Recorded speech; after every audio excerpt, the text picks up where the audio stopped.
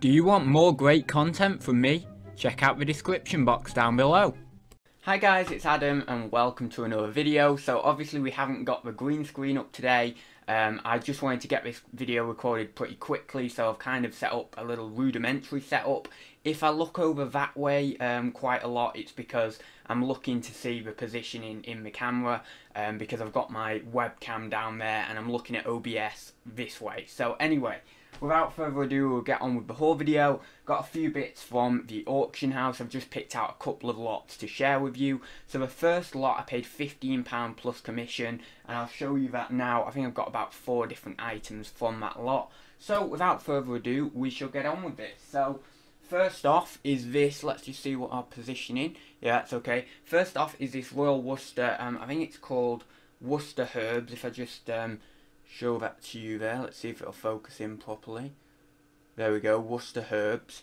Um, and it's actually quite a large jug. I'm assuming this is for water more than milk because it's a little bit big for a milk jug. But it's been hand painted. It's quite nice there as you can probably see.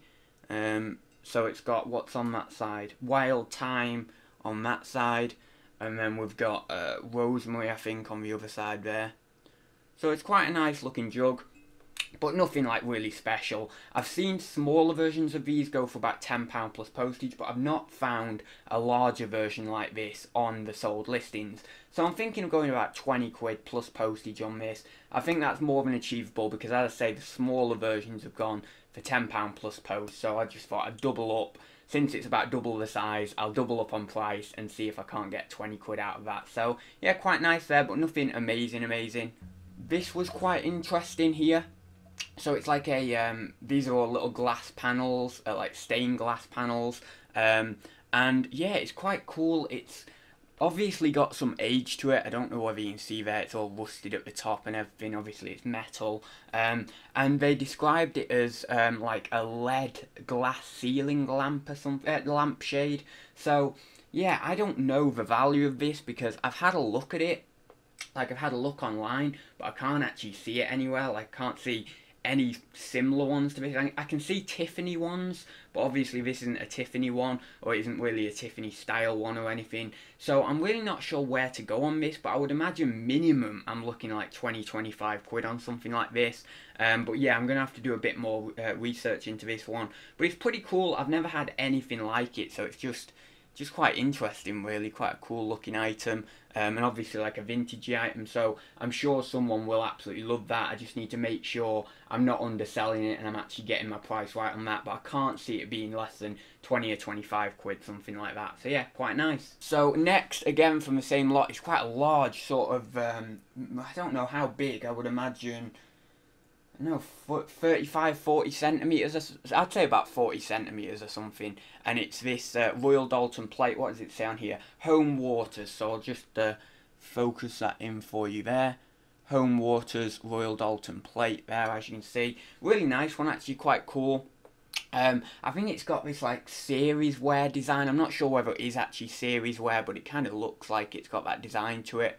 And you can see it's got a load of ships. I'll just put it there. So it's got a load of ships in there and it's quite a nice plate actually. I'm only looking about £20 plus postage on this plate but I thought it's still quite nice. Um, it's got a nice design on it. I thought that it might be worth a little bit more. I thought that maybe it would be worth like, um, you know, sort of 30 quid, something like that. But, you know, some of these things sometimes are not worth as much as you think. But it's still a nice plate for what it is. And then finally from the uh, £15 plus commission lot, so I'm pretty uh, I'm pretty good with that lot. I'm in I'm in some good profit, so I'm quite happy with that lot. Um, I got these. These aren't anything special. These are just um, Royal Worcester. Let me focus that in there.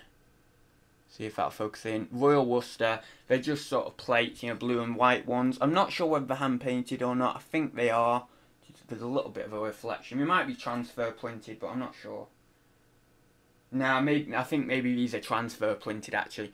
Um, but yeah, still, you know, quite nice plates, but nothing really special. They look quite modern with the mark, maybe the last 30 years or something, maybe 30, 40 years, something like that. They don't look like they've got much age to them. I would, yeah, I'd say like the last 30 years or something. Without looking properly at the mark, though, obviously online, I can't give you an exact date. Um, but yeah, I'm thinking I've not I've not actually been able to find these on the little bit of research that I did. I will do a bit more research. I didn't actually type in butterflies, but there's actually butterflies on these, so I might type that in. I think it's not going to be a lot. I've got a set. Well, I've not really got a set of uh, five, but I've got five plates there. Normally it's like a set of six, isn't it? But um, yeah, so I don't know, maybe 20, 25 quid plus post on them. Uh, being that there's obviously five plates, even though they're nothing special, I think because I've got five plates, I should be able to command about five pound a plate in a bundle. So yeah, that's those ones. Right, so the next lot I paid £20 plus commission uh, for. One of the items in the lot I'm not too happy with. I mustn't have viewed it properly on viewing.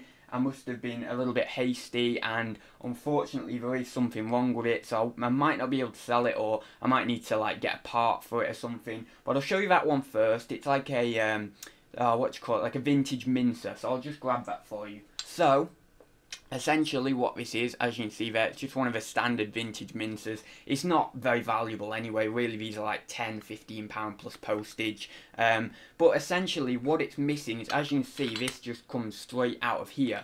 Um, I was a, having a fiddle around it because this was all dismantled um, so I was having a fiddle around it trying to see what fits where and I realised that obviously this handle uh, fits on here with this little um, sort of oh, what you call it, little sort of um, tie-on thing here. I don't even know what you call it.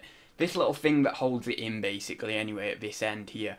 Um, and then, obviously, you've got something that holds it in at this end. However, the plate that's missing on here, I believe, is the little, like, um, oh, what do you call it, like the, the little plate with holes in, so that then when the meat's coming out of it, it comes out in, like, little strips. Um, so I think that's missing. There might be something else missing, but I don't think so. I think it's just that plate on there, which is a bit annoying. So obviously, I don't know whether...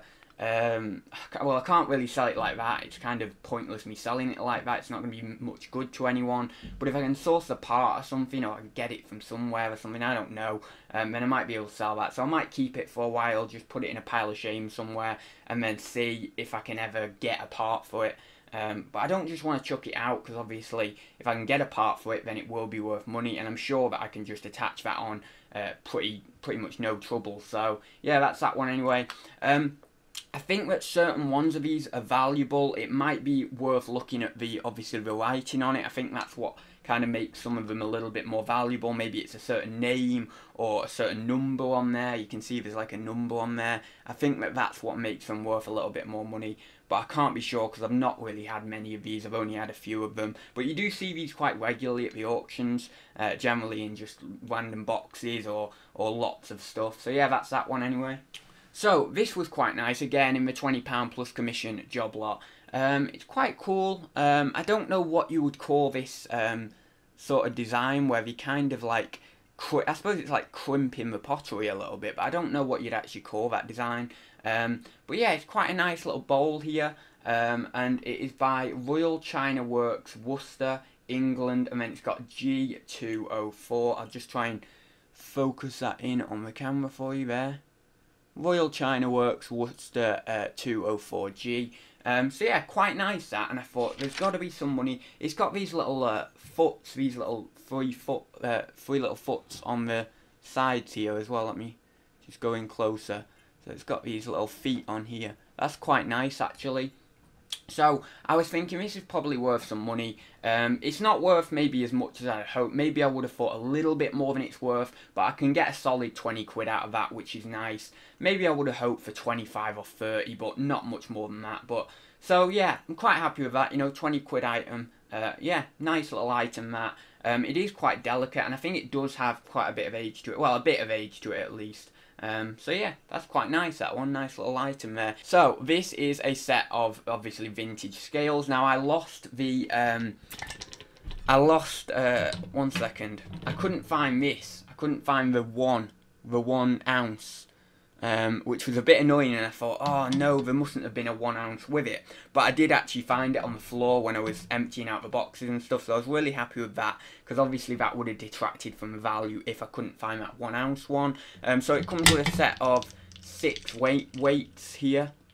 Um, I don't know what sort of uh, values the weights are. I know there's like a half ounce, an ounce, guessing like two ounce, four ounce, maybe like what, eight ounce, yeah. And then one pound. Anyway, so nice little set of weights there. You can see, I'll just hold it up again. I don't want to hold it up too much because I think the weights are going to fall off. But you can see, you know, I don't know whether this is just a paint that they've got on it, like a, a creamy or a greeny paint on here, um, or whether it's actually like an enamel. Um, but whatever the case, it's starting to come off a little bit. I don't know whether that's actually going to help the value or harm the value. I would imagine some people like it, some people don't like it, so it won't make much of a difference. And then we've got this kind of like, um, I suppose it's like a tinny, kind of a tinny uh, little holder on here for whatever you're putting in it. So it's quite nice this. Um, I haven't really had many vintage scales actually. You would have thought I would have had by now, but I just haven't. Maybe have, I've had one or something like that. But yeah, it's quite a nice little item here. I've seen they're all over the place. These, you know, there's some that go for really cheap, like 10, 15 pound. And then there's other ones that go, you know, crazy money.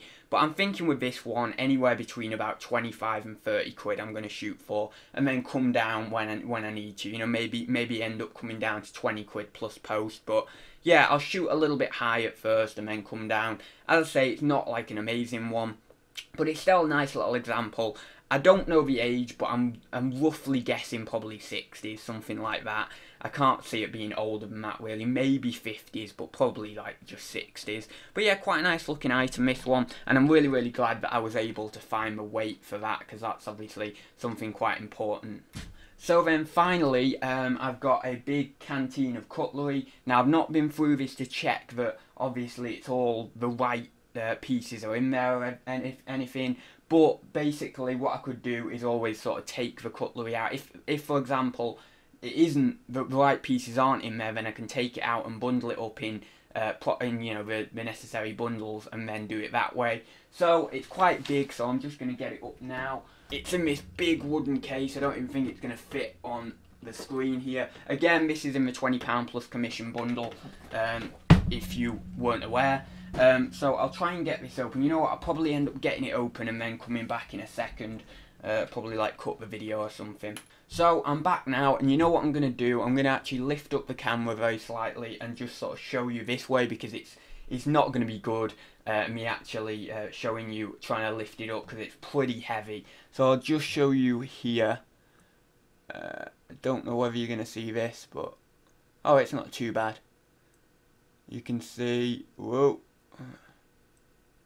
you can see there, there's quite a lot of cutlery in it, and then you've got that there. And then I'll put you back. This is really weird. I've never done this style of video where I'm looking here and then I'm looking at the camera. But anyway, uh, you learn something new every day. You learn how to do new things every day. So um, it's got a load of mixture in. I have seen a few different names in there. So it could be the case that obviously there's different names in there and it's not a complete set.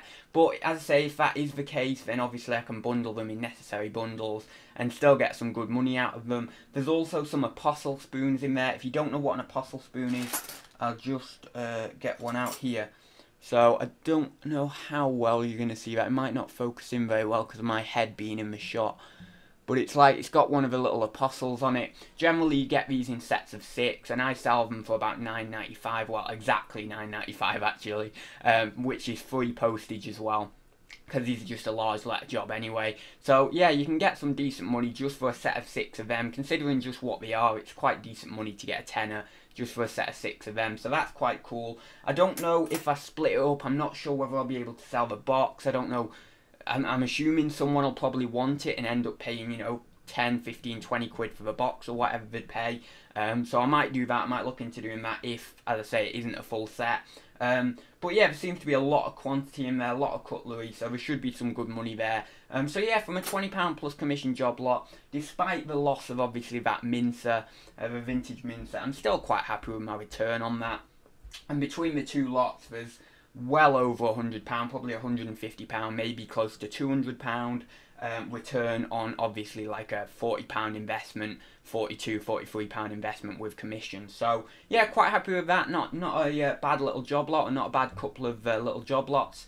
And I will leave it there guys. Thank you very much for watching. If you did like it then please do give it a like. Um, if you haven't subscribed, please do subscribe. And yeah, I will see you in the next one. So I'll see you very soon guys.